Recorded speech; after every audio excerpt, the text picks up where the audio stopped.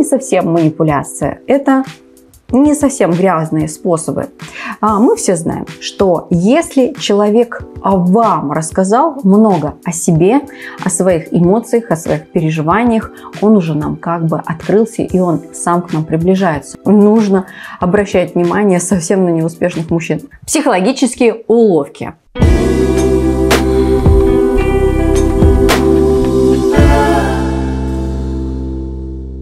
Ну, об этом, конечно же, стоит спросить лучшего чуткого психолога в нашей стране. Меня, Федоровой Екатерину.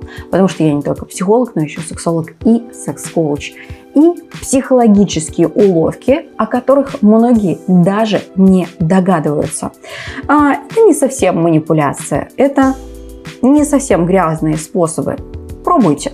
Итак, поехали.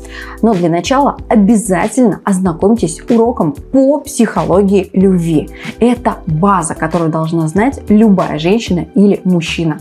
И скачать его можно совершенно бесплатно, пройдя по ссылке, которая находится внизу. Оставляете электронную почту, а, ставите галочку, что готовы получать от нас сообщения, ну и наслаждайтесь содержанием. Первая психологическая уловка. Легкие прикосновения – они не должны быть навязчивыми, навязчивыми, но они ой как работают. Мы все знаем, что если ребенок хочет нас что-нибудь выпросить, он подойдет, обнимет, повиснет на шее, поцелует, и наше материнское сердце растает. Я вам хочу сказать, что с мужчинами этот прием тоже работает. Ну и, кстати, это можно использовать на переговорах. Не просто так мы жмем руку в начале, в конце, а иногда можем вот так вот касаться, когда хотим человека в чем-то убедить. Это действительно очень круто работает. А, далее, прием выбор без выбора, как ни странно, тоже хорошо работает. Тогда, когда мы хотим убедить человека что-то сделать, мы можем это использовать. И хоть Опытные мамашки это уже точно знают, но этот прием работает и с ребенком, и со взрослым мужчиной. Мы можем всегда сказать, любимый, ты хочешь забрать ребенка из садика или сгонять за продуктами в глобус гурме? Ну, чаще всего мужчина выберет поход в садик за ребенком, что тоже в целом неплохо. А также, как ни странно, бывает, что очень хорошо работает нейтральное поведение и легкая отстраненность. А, как вы думаете, кого больше любят? Ну, конечно же, того, кто убегает из-за отношений, его сразу же начинают догонять. Поэтому, а если мы показываем свою излишнюю заинтересованность в чем-то, мы проигрываем. А тогда, когда нам нужно чуть-чуть отдалиться, мы всегда можем держать некоторую границу. Хотите разрушить стену, начните делиться эмоциями и переживаниями. А мы все знаем, что если человек вам рассказал много о себе, о своих эмоциях, о своих переживаниях, он уже нам как бы открылся и он сам к нам приближается. Но большинство людей не готовы к такому шагу. А что если вы сами первое начнете это делать и начнете делиться своими эмоциями и переживаниями? Конечно же, чаще всего в ответ другой человек тоже раскрывается. А это, собственно, именно то, что нам надо.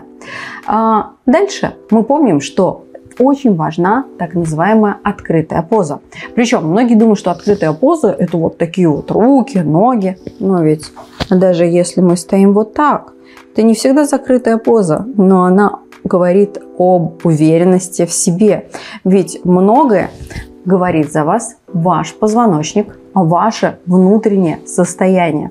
А, не забывайте о том, что имя до сих пор считается очень и очень важным. И еще Дейл Карнеги на а, заре своего восхождения одним из правил здорового общения а, говорил о том, как важно упоминать чужое имя. А ведь мы очень часто не удосуживаемся даже выяснить, кого как зовут. И при общении редко используем это. А ведь это так важно. Научитесь выражать свое мнение. Ведь, как ни странно, человек, у которого нет своего мнения, нет э, своих видений по тому или иному вопросу, очень часто воспринимается как человек неважный. А, поэтому так важно говорить о том, что вы думаете на ту или иную тему. Всегда сканируйте смех. Ведь если другой человек смеется, во время смеха он рефлекторно будет смотреть на того человека, который ему больше всего нравится. И здесь, если вы хотите заставить мужчину больше ревновать во время смеха, не всегда смотрите на него. Смотрите на другого мужчину. И вы увидите, что он захочет также а, взять инициативу в свои руки. А, очень важно, чтобы, знакомясь с мужчиной, вы ни в коем случае не наседали на него со своими ожиданиями. А какие у нас обычно ожиданиями? А, пойти в ЗАГС, чтобы он закрыл ваш кредит и все остальное. А, нет, мы просто-напросто встречаемся.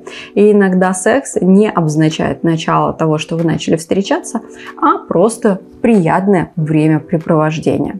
Ой, еще одна такая классная манипуляция – это сказать мужчине «я стесняюсь». Я стесняюсь слегка покраснеть, а, показать вот эту вот э, девочку. Ведь а, мы живем в том мире, где женщины стали слишком уверенными. Каждая вторая имеет свой собственный бизнес, хорошо зарабатывает, реализована со своей квартирой, машиной, дачей.